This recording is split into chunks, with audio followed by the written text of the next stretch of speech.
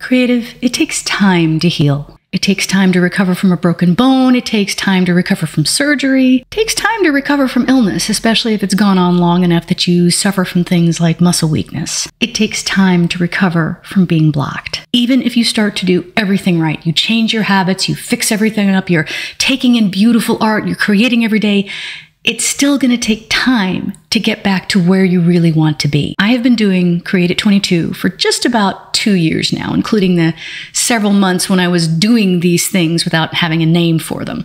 And I'm only now getting to the point that I'm really satisfied with what I'm making every day. That is, I'm reaching a level of creation that I haven't had in so many years that we're talking a couple of decades here. And it's taken almost two solid years of daily work at this in order to get there.